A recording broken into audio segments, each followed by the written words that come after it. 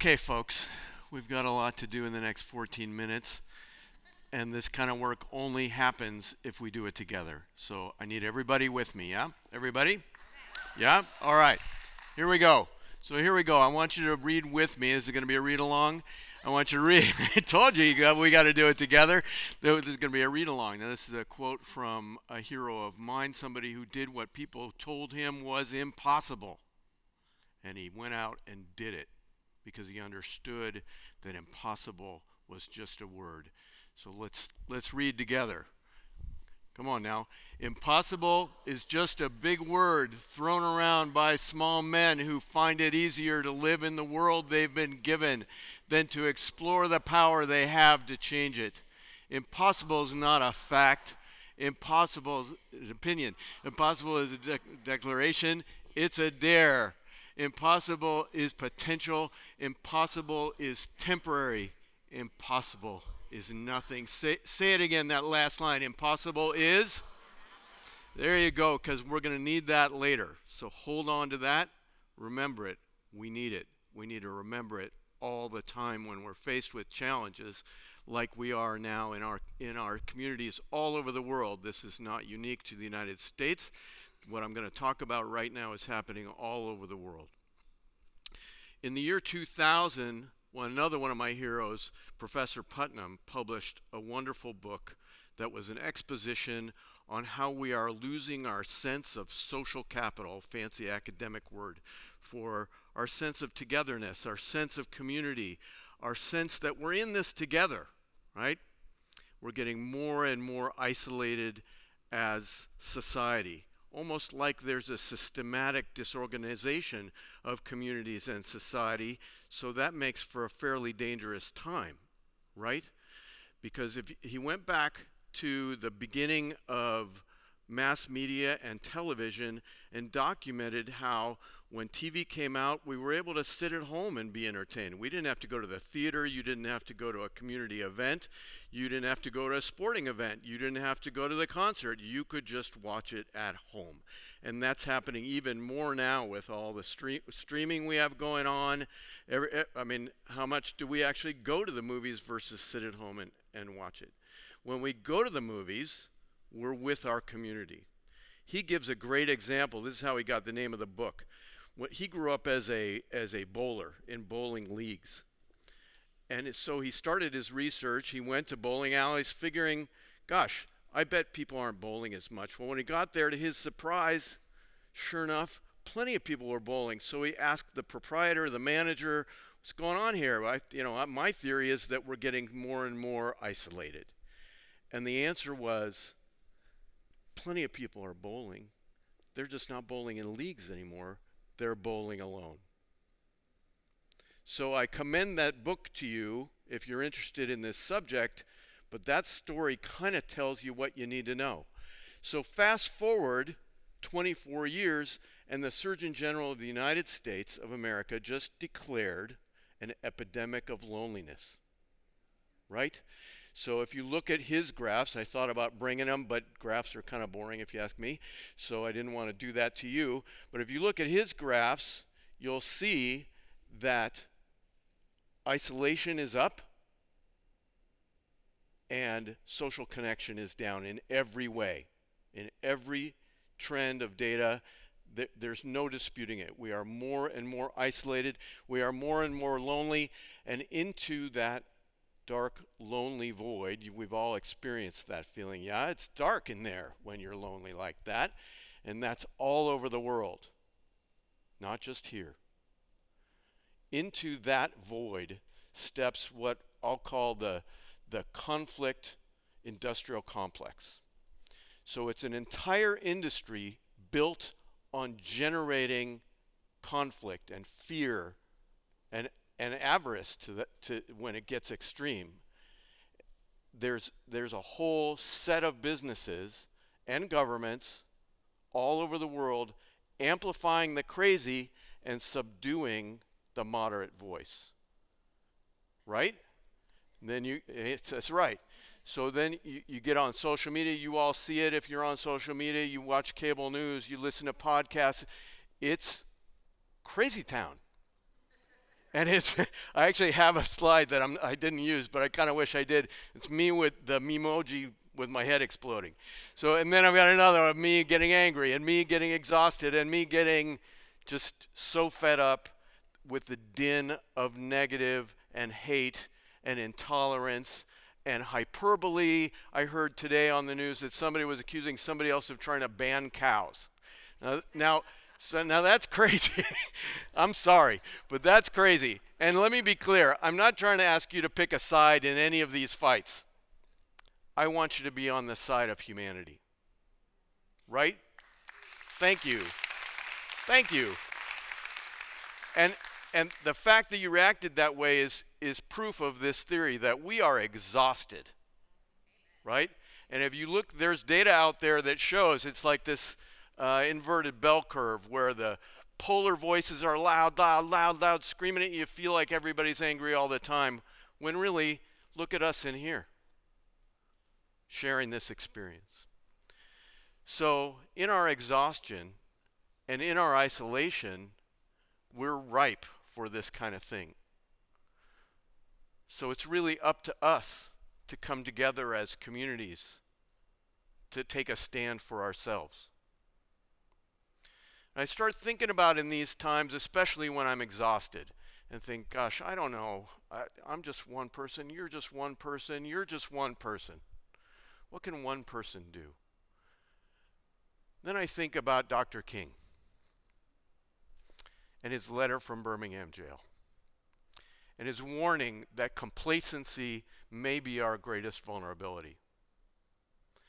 And I think about famous quote that is now so famous it's become almost cliche. Why? Because it's true. If we don't get it together, not just one of us, but more of us, to take a stand for what kinds of communities we want to live in. If we don't go out and build them, then this machine that is driving the conflict, it's not slowing down. This is age-old behavior. You even see it in the most legitimate legitimate publications where there'll be a headline that says so and so fears that some wild thing might happen. Well, that's not news. You're not saying something bad is going to happen. They're not going to say it did happen. They're just saying there's a handful of people over here afraid that something's going to happen. That's clickbait. So that's your first clue of how you as an individual can start to take a stand. Just all by yourself in front of your computer or your phone or wherever you're watching. Now, this advice that we've been getting from Dr. King or Margaret Mead in the last century or so is not new. This quote is 2,000 years old. If I am not for myself, who will be for me? If I am only for myself, what am I?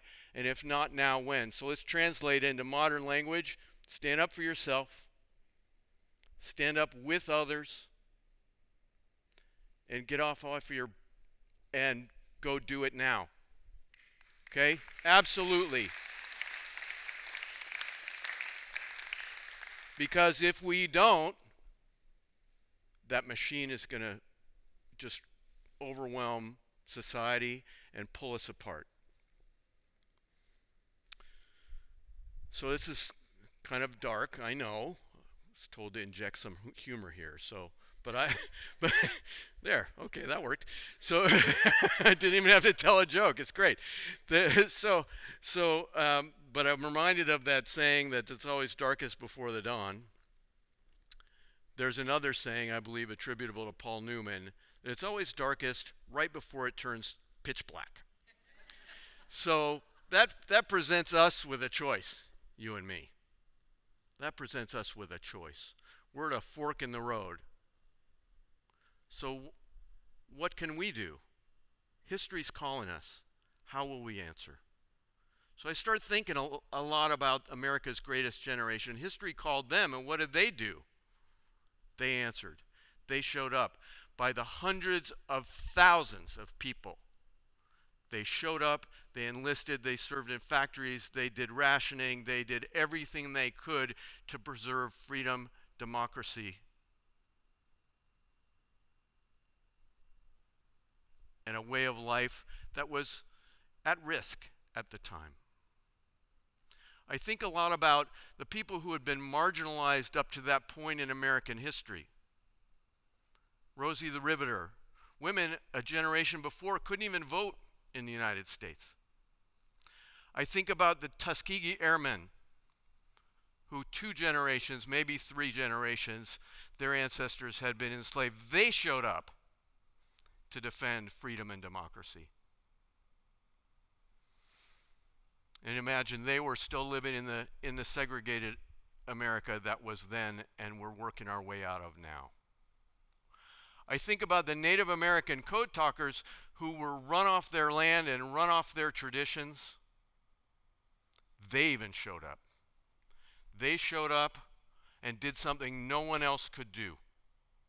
And imagine if, if any of those people, people here at home, the people overseas, the people in the factories, if they hadn't done what they did, imagine what our lives would look like right now. And some of us in this room right now would not even be here.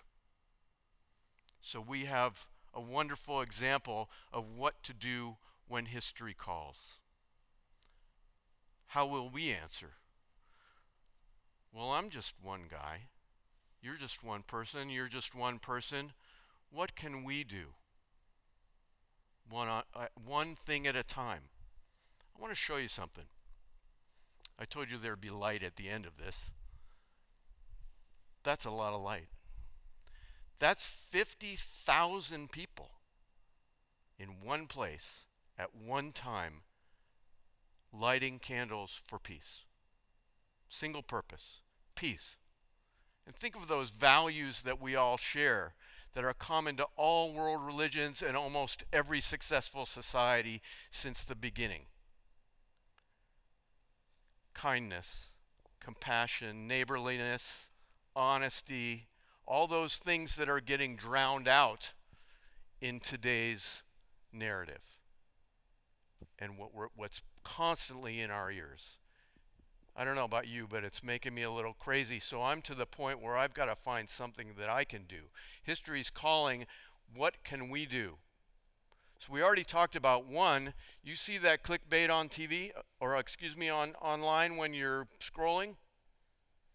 Don't click on it. Every time you click on that kind of thing, you give money and power to those who would divide us those who would break communities down because what happens in those in that isolation and the darkness of that loneliness we're more susceptible to even more threat and alarm. Imagine when you're when you're driving down the road and you're bopping along Beyoncé you got crazy in love going on it's really good. I like it. You can tell what i listen to. So, but you uh, you hear a siren screaming up behind you you forget all about what you're listening to.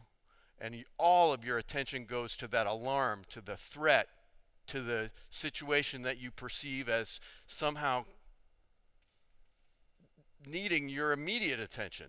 That's how we're wired, it's our DNA. And again, this is not new, it's just superpowered by technology. So think about it clickbait. Think about events that are in your community. So every time you click or don't click, that's a choice. That's a fork in the road. You can choose darkest before the dawn or darkest right before it goes pitch black. Now that looks like a, a big sea of people, right? That's a, lo- that's a lot of people. But I want you to focus in, pick a face. Pick, pick one face. Now that person made a decision. That person made a decision to be there and the person next to them made a decision to be there. And the person next to them made a decision to be there and stand with others, stand up for themselves, to stand with others, and to do it now. Every one of those 50,000 people made that decision on that day. So it's really not that complicated one act of kindness at a time, one click or not click at a time, one community cleanup at a time, one service club membership at a time. And if you can't find a service club that fits you, and who you are, then create one. There's an old saying that if you're not at the table, you're on the menu. I don't know about you. I don't want to be, I don't want to be on the menu. And if you don't find a table where you have a seat, you make your own seat. So if there's not a club that fits you, you make that club and invite others to join. Build community, one act of kindness at a time, one act of compassion at a time, one minute of curious listening to why somebody feels differently, looks differently, behaves differently than you. So, see, this is not so scary. It's not so overwhelming if we look at it one thing at a time. Now, it just happens that it's my 64th birthday. Thank you. That's really nice. And there's actually a witness to that birth in the room. My 91 year old mother is right there.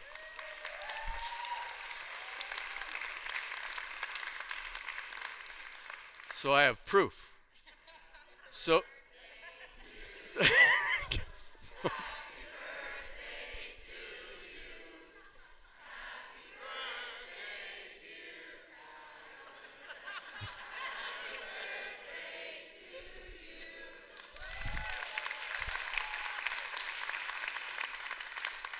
That's very kind, but you're making me run out of time. So, so, so, so just quick. Just thank you. That was really kind. So here's my birthday commitment, and then I have a birthday wish. You know, if if you do one thing a day for 100 days, by the time that 100th day comes along, you've done 100 things. That's a lot. You build a lot of community in 100 days doing 100 things. So that's my commitment to you over the next 100 days on my birthday. My birthday wish is that we go out there and be just be kind to each other. We can do it. Because impossible is nothing. Thank you very much.